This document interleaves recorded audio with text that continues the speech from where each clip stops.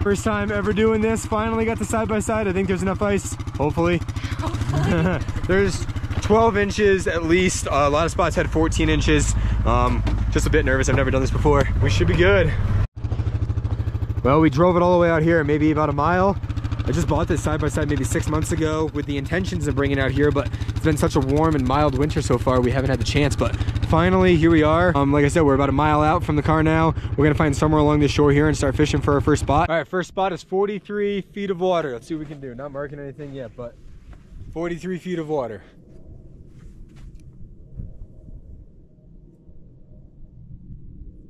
Yeah, buddy.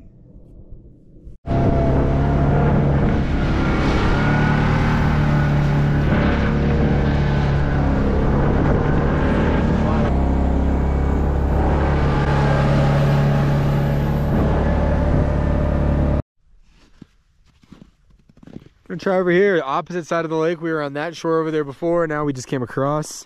We're on a big flat here, which I like. This is 50 feet of water and we're quite a ways from shore. So just a nice shallow flat. See if we can find some lake trout.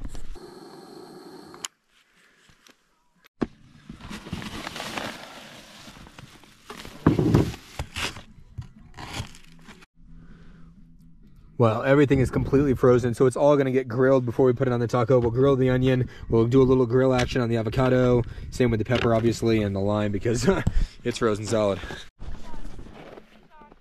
Got one? Reel him in. Reel him in, reel him in. Let him feel. Put it down. My goodness. Whoa, he's stuck. nice brown. Very nice. I literally just put it, down. it down? I was Wow. just putting the bell on it and I was like, did that just move? First fish of the day, I was just cooking lunch. All right, I got a pound and a half of marinated flank steak. I'm gonna throw on the grill and we're gonna make some tacos.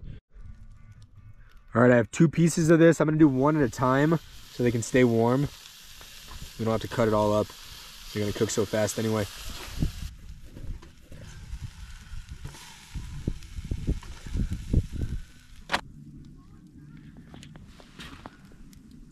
Some chimichurri. Good.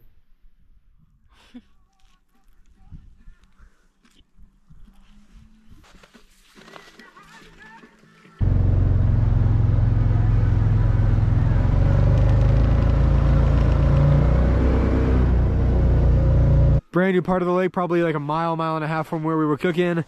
Um, we're in 44 feet of water. We're pretty much just gonna go all out for the lake trout now. We got about two hours before the sun sets.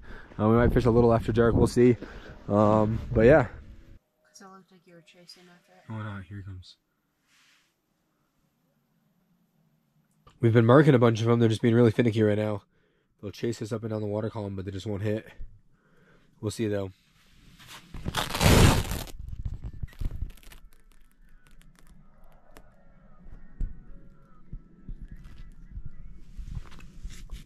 I need to branch out next time I come and go to a different spot. I've been coming here since the first time I came here. I did really, really good. So I've been coming here ever since, kind of chasing that, and it's just gone downhill slightly every single trip. So it's all right. I just need to try a new spot. Um, we only had you know a few hours out here to begin with, so it's not like we fished all day and got skunked. But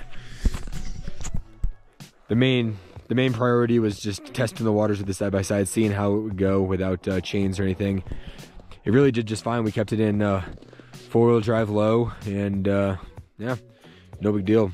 Snow was a bit deeper upstream, but yeah, it did great. You know, we took it real slow, wanted to drill holes, so we spent a lot of time just making sure everything was going safely. Um, yeah, it was awesome.